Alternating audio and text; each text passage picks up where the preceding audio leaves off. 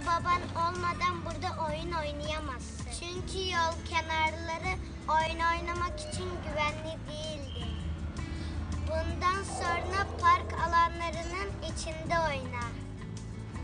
Tamam polis amca seni çok iyi anladım. Bundan sonra yol kenarında oynamayacağım. Bundan sonra trafik kurallarına uyacağım.